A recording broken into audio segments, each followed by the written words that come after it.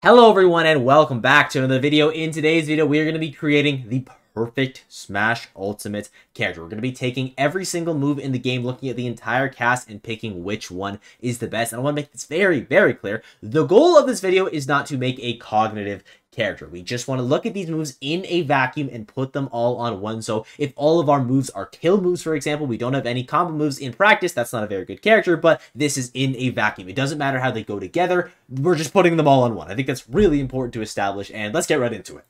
And there's a couple moves in this game where they're just clearly the best one. And in that case scenario, I'm not going to go into a ton of detail, but when it's hotly contested, I am going to talk about all of the honorable mentions. And the first move that we are going to start with is the neutral air. And my pick for the best neutral air is going to go to Mr. Game & Watch. Not only is the hitbox on that move ridiculously large, but it also combos into itself. Now, the honorable mentions for this are going to be Palutena Nair and Rob Nair. Palutena Nair is kind of Game & Watch Nair, but the hitbox on it isn't as good, and it sends more to the right and left more so than up, and I do value move sending up more than right and left just because it doesn't really matter where you are on the stage, you're going to be able to get the same value out of it every single time. You're also able to combo into the platforms with it, and Rob Nair, a wise man once said, I parry Rob Nair for positioning. The move is ridiculous. It has a really nice stage show. It's a combo move. It becomes a kill move at certain percents as well, but it doesn't get the same amount of combo ability that you do from the Game & Watch Nair, and once again, the hitbox on Game & Watch Nair is just ridiculous. The fact that the fish themselves are a hitbox aside from the just the fishbowl is pretty insane, and I think it's the best name in the game pretty clearly. Moving on to back airs, and the best back air in the game is going to go to Cloud. This move is honestly better than half of the cast, and it's one of the big reasons of why Cloud is such a strong character, because it just makes him have incredible walling. It is one of the hardest moves in the entire game to get out of the corner versus because the frame data on it is pretty solid. It's a massive hitbox, it kills as well, it chunks your shield, it's an amazing edge guarding tool. This move honestly does it all, it pretty much wins neutral for you. Some honorable mentions are going to go to Donkey Kong back air, another back air that's pretty much just a massive sword with the sour spot coming into the sweet spot as well, which is pretty nice. Palutena backer is really good for the intangibility. I also personally like backers like Pikachu and Game & Watch just because the edge guarding potential is so strong, but I think Cloud backer is pretty clearly the best backer in the game. It just creates this wall that is almost impossible to get past.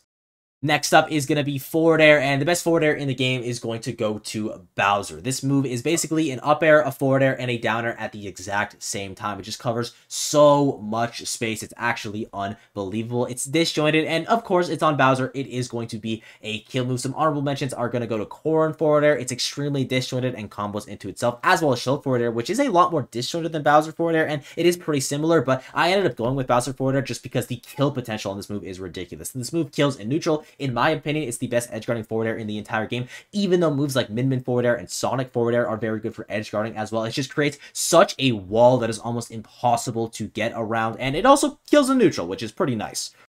Next up is down air, and the best down air of the game is very clearly Anvil. It is just so strong. It kills you at like 80%, and you can do footstool into Anvil, which is ridiculous. You can also just send it down and then jump off of it, so you're just sending a projectile so your opponents really can't pressure you in the advantage state but I'm not going to be including it for this list just because I don't know how it would work in a vacuum since most characters aren't going to have access to mining, and by most, I mean, you know, every character aside from Steve. So just know Steve Downer is the best downer in the game, but I'm not including it for this list, and instead I'm going to be giving the best downer in the game to Pyra. This move is one of the strongest spikes. The hitbox on it is absurdly large. It hits through platforms, and it's also an amazing combo tool if you aren't hitting it off stage. The sour spot for it is going to start killing pretty early on as well. The only real bad part of the move is that it's slow, but for that hitbox, it, it better be slow.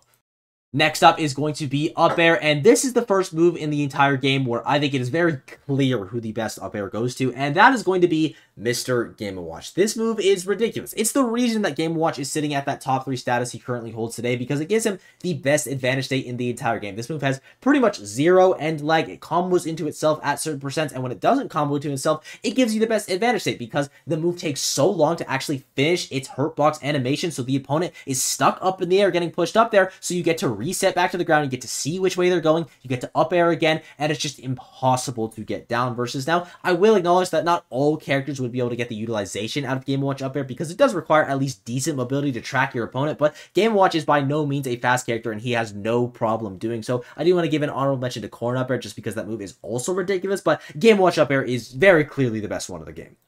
Next up is going to be Neutral B, and this was actually the toughest one for me to choose by a pretty significant margin because you have moves like Joker Gun, you have Snake Grenade, you have Steve Block, which are all incredible, but I ultimately went with Shulk Neutral Special because I think in a vacuum, a majority of characters would be able to get more utilization out of this than they would be able to get out of a move like Block, out of a move like Gun, because every single character just massively benefits from doing more damage or being faster or having shield art so they don't get combos. Same thing with smash art. You're killing significantly earlier. Your recovery is better from jump art as well as your advantage state. Every aspect of every character is just buff. Without Monado arts, Shulk is like a mid-tier character at best. And while Steve Block definitely has arguments as the second best, same thing with Joker Gun as well. I don't think a majority of characters would be able to get the value out of Steve Block that they're able to get out of Monado arts. And it's the exact same thing for Joker Gun movement. It's a really strong tool the neutral, but the move by itself isn't as good without the fact of Joker being as nimble as he is. And in a vacuum, uh, Shulk neutral special is just like amazing on everyone. Next up is going to be side B, and the best side B in the game is going to go to Duck Hunt. Now, most people are probably surprised by this, but if you actually take a look at the move, it is pretty ridiculous. Not only is a projectile where you can mix up the timing of the second hitbox, but it's also a move that combos into itself and then anything that you could really imagine. You could duck hunt side B someone from one side of the stage, chain them across, and then end it with a Pyra down or off stage. And that is a very realistic scenario to happen. You can also just side B someone once and then do any aerial of your choosing. If you have like a Mario up air or something, getting side beat is pretty much a death wish. Some honorable mentions are going to be Minecart, because, you know, duh. You're also going to have Sonic side B, which gives you stage control in a matter of seconds, less than a matter of seconds, as well as being a combo and kill confirm move, and also Snake Side B because it allows you to safely edge guard from the center stage or really wherever you want, and it kills absurdly early on. Even though you can hit it, you can also just deactivate the hitbox so it hits them with the weaker hit anyway, and just do it over and over again. But and Side B just gives you so much versatility. It makes your combo game really strong. You have this projectile that just kills you and literally anywhere hits. It's just ridiculous editing ProofBlock, I also wanted to give an honorable mention to Bayo Side B. I don't think most characters would be able to get as much use out of Bayo Side B as she is able to, but the move is still undeniably strong. It makes you have a massive burst range. It's a combo to it, pretty much nullifies the ledge state of the game, and it's just really good. Next up is going to be down B, and the best down B in the game is pretty clearly Hero down B, but it's going to be another situation where I am excluding the move just because I don't really know how mana would work in a vacuum, but this move is ridiculous. Not only do you get access to zoom off stage, so you have a free recovery sometimes, you have the slashes, you have the amazing spells, and you have the buffs, like it is insane, but it doesn't count, so the actual best down B in the game is going to go to Rob. Now, there was also contentions for Peach and Diddy Kong being in this. The item characters just have really strong down Bs because you're able to do so much with those items, but Rob Gyro is kind of like the middleman. Maybe you think Peach Turnip is the best at comboing, even though I do think Rob's is the best at comboing. And then you have Diddy Kong's for controlling the stage, but Rob's does both. You can put it on the ground to control certain parts of the stage. It combos into itself as well as pretty much anything you like. It falls at a really slow angle. It hits super far away. And also you can snipe people off stage with the initial use of the down B. And I think it's pretty clearly the best projectile in the game. And by projectile, I mean item, of course.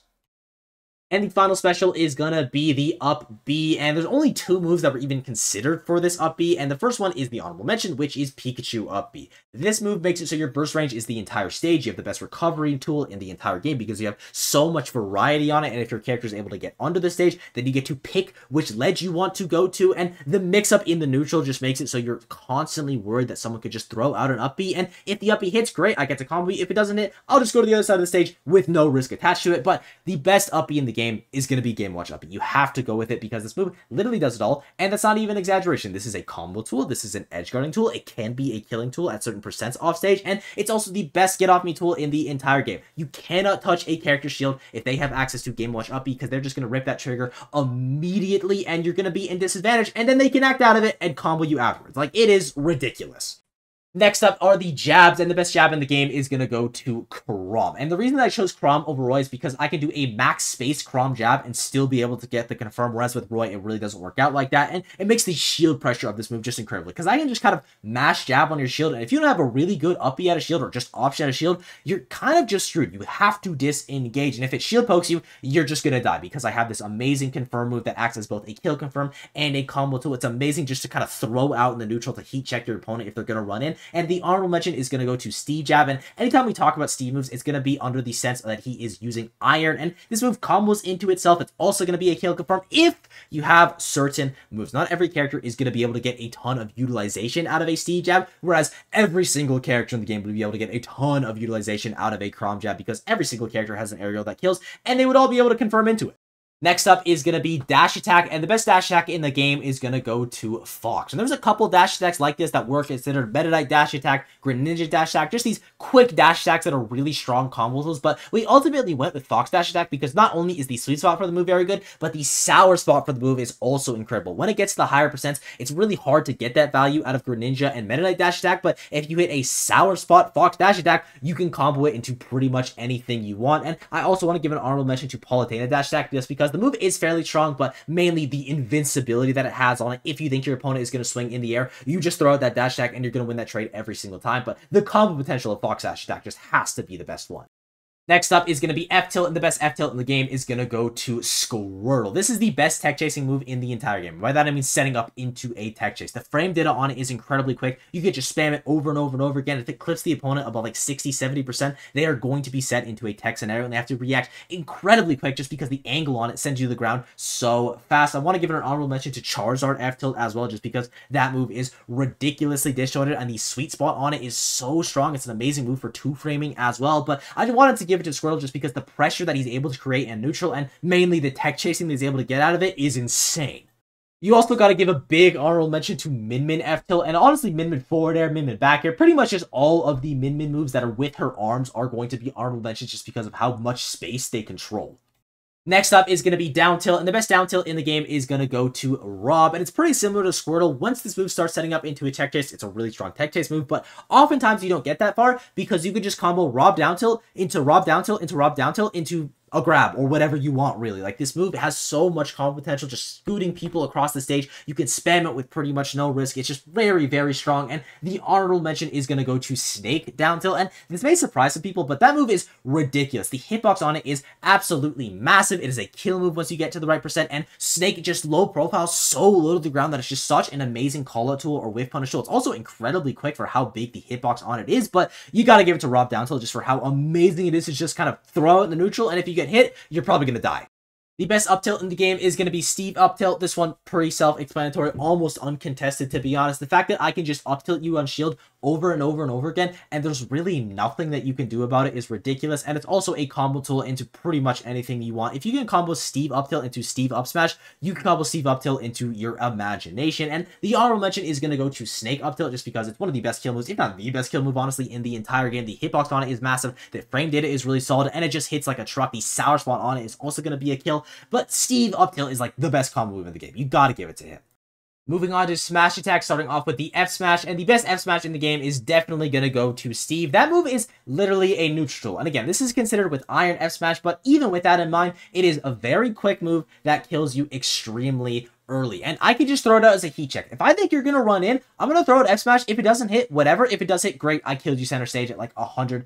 It's just very, very strong. And you do definitely got to give an honorable mention to Min Min F smash just because that move is also absurd. Just covers so much stage. It also kills incredibly early if you have the powered up Dragon Arm. And when we're talking about the Min Min moves, it's all going to be under the context of Dragon Arm just because I don't know how switching in a vacuum would work. But even with Ramram being on the table, I would still consider Steve F smash to be the best just because, you know, riskless neutral tool that kills, but Min Min's is also pretty broken. Next up is Up Smash, and the best Up Smash in the game is going to go to Game & Watch, and it's for a pretty similar reason with Steve. It's just a neutral tool. I can just throw Game & Watch Up Smash if I think you're going to run in, or if I think you're going to jump on me, and if you don't, whatever, that's fine. You'll see Maister do like six or seven Up Smashes in a row, not even moving, and it's optimal, because you just cannot contest that move. The hitbox on it isn't massive, but it is pretty much invincible. It's going to win every single trade, and even if it just trades, it's so strong that you're going to be losing that trade pretty much every single time. And these smash attacks that you can throw at neutral are just clearly going to be the best ones, but you do got to give an honorable mention to Charizard up smash. It's incredibly quick. The hitbox on it is massive, so if you're under a platform, you're just going to get hit by it, and it also kills pretty early.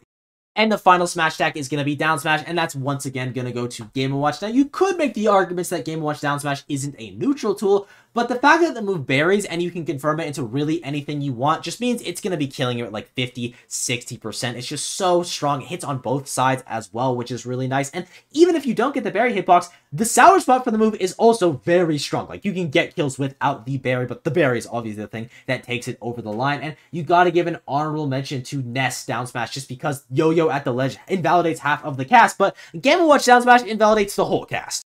Next up is going to be Grab, and the best grab in the game is very clearly Pac-Man Grab because it is the only grab in the game that you cannot spot dodge. Now, the move is a little bit slower, yes, I am aware of that, but the main way to deal with grabs, the hard counter to that move, does not work on Pac-Man Grab. Like, I feel like it's pretty self-explanatory why it's the best. Moving on to the throws themselves, starting off with forward throw, and the best forward throw in the game is Donkey Kong, and I don't think I need to explain this one, so I'm not going to. It's just the best. Next up is going to be back throw, and the best back throw in the game is going to go to Ness. This move is just the strongest back throw in the game, so obviously it's going to be the one that we choose. And honorable mention to Incineroars because it's the second strongest back throw in the game. Moving on to up throws, and the best up throw in the game is going to go to Charizard. The fact that this move lands you on a platform and can kill you 10-20% earlier, depending on which one it lands you on, is pretty ridiculous. And even without that, the move is already incredibly strong. Now, the second best up throw in the game is going to go to Rob because it also has the benefits of landing on the platform. And while it's definitely not as strong as Charizard up throw, it is a throw that is going to start to kill. And at low percents, it's also a combo throw.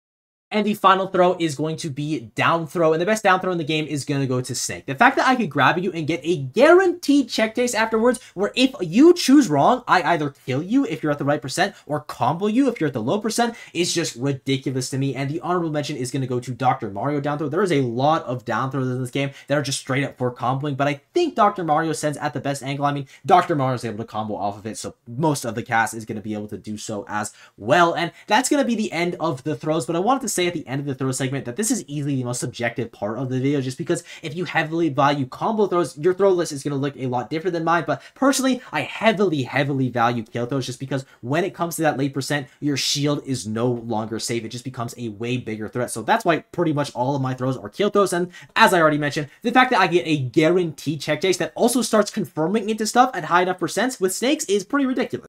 And before we wrap this video up, I want to show you all the visualization of the list that we have created. This is the best possible character in Smash Ultimate in a vacuum. Remember, that is very important. And there's also a bunch of stuff that isn't necessarily moves, but I also wanted to mention because we did it when we made this list on stream. The first one is going to be the mechanic, and the best mechanic in the game is going to be float. It makes you have the best micro spacing in the entire game, as well as giving you crazy combo potential. And you got to give an honorable mention to Ice Climbers just because having two of any character is ridiculous. Next up is going to be Yoshi. He just can't get shield poke, so he's obviously going to have the best shield in the game. Double jump is also going to go to Yoshi just because he has the armor on the double jump, very clearly the best one. Then you're going to have weight, Bowser the heaviest, fairly self-explanatory. Run speed, Sonic is the fastest character in the game, so he's going to obviously be our choice. Walk speed is Lucina. Uh, for some reason, Lucina is the fastest walker in the game, so I guess good to her for that. You're going to have airspeed. Yoshi has the best airspeed in the game. Fox has the best fall speed in the game. We're going to give you the jumps that Jigglypuff has. The best Zair in the game, in my opinion, is going to go into Lucas just because of the combo potential, but ZSS's is also very good because of the disjoints. Luigi's is also good. Then you have the taunts with Luigi's because it can kill. Greninja's hits, Kazuya hits. The best crouch is actually going to be Snake because of how low it low profiles, but you got to give an honorable mention to Diddy just because he's so smug when he does it. The best get up attack is going to be Bowser just because the hitbox on that move is ridiculous. The best ledge roll is going to be Wii Fit. Uh, a Wii Fit player told me this, don't ask me anymore. The best hurt box is actually going to be Kirby because he's surprisingly the smallest character in the game, and the best ledge hang is going to be Ganondorf. And with that, I thank you all for watching. I hope you enjoyed this sport. It's been absolutely unreal as of late. There's going to be a lot of disagreements in this video, which makes sense. But honestly, I think we did a pretty good job making this one. All I ask of you is that if you want to make a comment on this video, just be civil to the people that you're talking with. There's no reason to get angry about any of this stuff. Like, thank you all for everything. And I will see you all in the next one. Bye-bye.